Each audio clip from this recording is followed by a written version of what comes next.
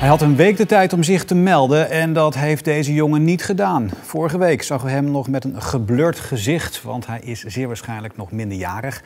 Nou, wat hij heeft gedaan past echter niet bij zijn leeftijd. Hij sloeg twee volwassen mannen keihard in hun gezicht. Een van hen liep erbij een gebroken neus op. De politie ontving drie tips naar aanleiding van onze uitzending van vorige week, maar die leidden helaas niet naar de verdachte. Daarom laten we hem deze week nog een keertje aan u zien, maar nu dus zonder blur. De mishandeling vond plaats in het winkelcentrum Vleuterweide. De jongen hing daar op een middag rond met een groepje vrienden. Ze riepen provocerende teksten naar voorbijgangers. Nou, twee mannen dienden hem van repliek en dat viel verkeerd. De jongens liepen hen achterna en deze jongen viel hen toen aan. Hij sloeg ze één voor één, keihard met een vuist in het gezicht. Nu laten we hem dus wel herkenbaar zien in de hoop dat iemand hem herkent. Hij heeft een licht getinte huid, is ongeveer 1,65 lang, dus niet zo groot. Hij heeft zwart krullend haar.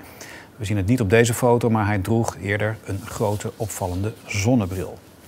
Ja, deze zaak speelde dus vorig jaar in april, dus echt al een tijdje geleden. Toch wil de politie deze zaak heel graag oplossen. Omdat het al een tijdje geleden is gebeurd, kan het goed zijn dat de verdachte veranderd is hè, qua lengte, qua postuur. Denkt u te weten wie deze jongen is? Twijfel dan geen moment en geef het door. Via de tiplijn 0800 6070 of via meldmisdaad anoniem 0800 7000.